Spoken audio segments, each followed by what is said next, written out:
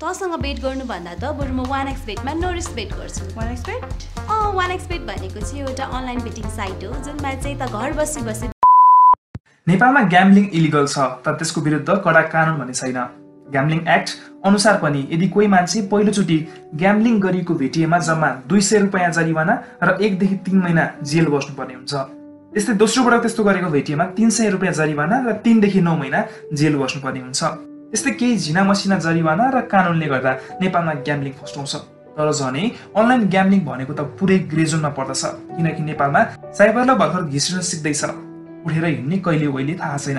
साइबरलाई राम्ररी बनेपछि मात्र त्यसपछि आउँछ अनलाइन ग्याम्लिङको रुल पनि।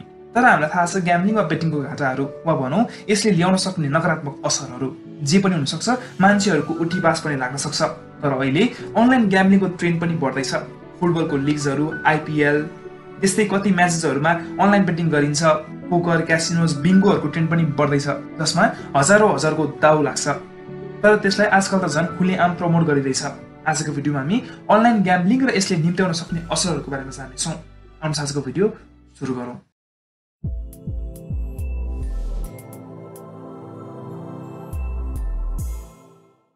अनलाइनमा खेलिने poker casino bingo lottery sports बेटिङहरूलाई online gambling भन्न सकिन्छ। कति देशहरूमा यो लिगल छ। युएस क्यानाडाको केही पार्ट्सहरूमा त्यस्तै इयु र क्यारिबियनमा नै यो लिगल छ। तर नेपाल लगायत एसियन कन्ट्रीहरूमा ग्याम्लिङ इलिगल छ। त्यसको मतलब अनलाइन ग्याम्लिङ पनि इलिगल हुन्छ। अहिले ग्लोबल्ली चालिस बिलियन डलरको मार्केट छ अनलाइन ग्याम्लिङको इन्टरनेटको विकास भएसँगै पहिलोचोटि नाइन्टिन नाइन्टी फोरमा अनलाइन ग्याम्लिङ सुरु भएको थियो र यसले लेट नाइन्टिजतिर चर्चा पाएको थियो। नाइन्टिन नाइन्टी सिक्समा टोटल पाँचवटा मात्र ग्याम्लिङ साइट्सहरू थिए तर नाइन्टिन नाइन्टी सिक्समा त्यो बढेर दुई सय पुगेको थियो। र स्पिडमा बढ्दैछ र टु थाउजन्ड एटिनको रिपोर्ट अनुसार एन्युअली फिफ्टी सिक्स बिलियन डलरले यसको मार्केट बढिरहेको छ। विभिन्न देशले यसलाई रेगुलेट गर्नको लागि थुप्रै नियमहरू बनाएका छन् र ग्याम्लिङ जस्तै यसलाई एउटा नियमको दायराभित्र राखिन्छ वेसेसहरू पनि रेगुलेट गरिन्छ। स्क्याम र फ्रडहरूलाई हटाउने काम पनि गरिन्छ तर नेपालमा यसलाई रेगुलेट गर्ने कुनै पनि कानुन बनेकै छैन। मान्छेहरूले थुप्रै पैसा फ्रड वेसेसहरूमा फसाउन सक्छन्। विभिन्न प्रकारको बोनस अब्युज गरेर मान्छेहरूलाई पैसा हाल्न बाध्य बनाइन्छ। साइन अप गरेर जति पैसा हाल्नुहुन्छ त्यसको सय पर्सेन्ट बोनस दिन्छौँ। साइन अपमा फिफ्टी पर्सेन्ट बोनस दिन्छौँ। होइन तिनीहरूको बोर्डमा पैसा फर्छ कि क्या हो? मतलब त साइन अप गऱ्यो हजार रुपियाँ हालेर दुई हजार निकाल्यो। त्यस्तो इजी हुन्छ र पैसा कमाउनु? अझ त्यो एमाउन्ट निकाल्न यति पैसा पुग्नुपर्ने हुन्छ दसचोटिसम्म बेट गर्नुपर्ने हुन्छ भन्ने नियम राखिदिन्छन् पछि चाहिँ। अनि यस्तो कुरालाई कति युट्युबर्सहरूले प्रमोट पनि गरिरहेका छन्। पहिला त इन्डियामा मात्र यस्तो देखिन्थ्यो तर अहिले नेपाली युट्युबर्सहरूले पनि यसलाई खुलेआम प्रमोट गरिरहेका छन्। जसको लाखौँ लाख सब्सक्राइबर्सहरू छन्। यदि ती लाख मध्ये दस हजारले मात्र पनि पचास रुपियाँ मात्र राख्यो भने पनि त्यो वेबसाइटहरूमा त्यो स्क्याम वेबसाइटले पाँच लाखभन्दा बढी पैसा यति सजिलै कमाइदिन्छ।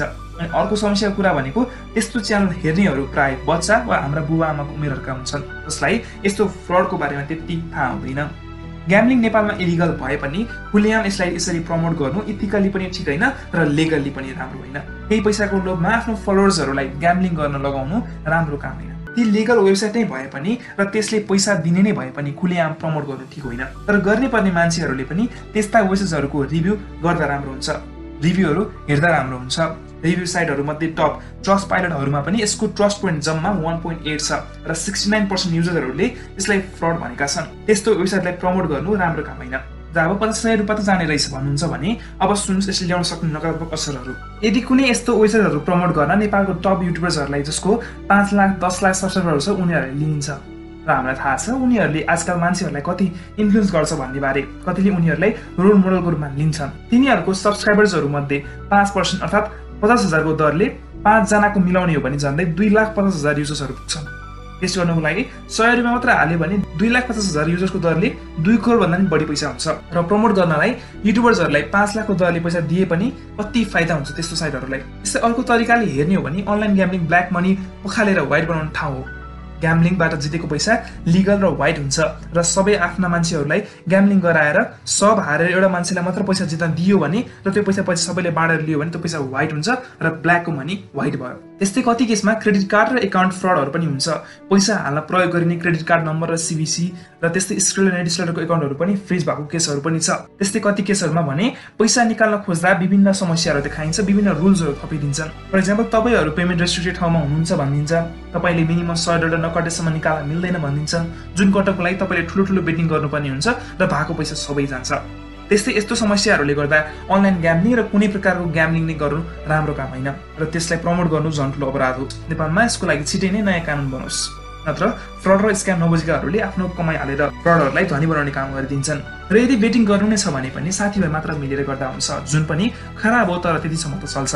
तर अनलाइन ग्याम्लिङ वेबसाइट्सहरूमा पैसा हालेर नगर्नु होला इन्फ्लुएन्सर्सहरूले पनि यस्तो वेबसाइटहरूलाई प्रमोट गर्नुभन्दा पहिला दुईचोटि सोच्ने कि पाँच दस लाख नै पैसा दिए पनि यदि कोही मान्छेहरू यसबाट फस्यो भने तपाईँहरूलाई जिन्दगीभर सराप छ त्यही भएर रिसर्च गरेर त्यस्तो वेबसाइटहरूको मोटिभ बुझेर मात्र प्रमोट गर्नु होला तपाईँहरूलाई फलो गर्ने र आइडल मान्ने मान्छेहरू धेरै छन्।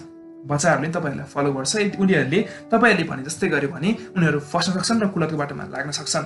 आजलाई यति। तपाईँहरूलाई के लाग्छ यसको विषयमा? आफ्नो विचारहरू तर कमेन्ट सेक्सनमा लेख्न सक्नुहुनेछ र यस्तै भिडियो भविष्यमा चाहनुहुन्छ भने please subscribe the channel and to ring the bell icon thank you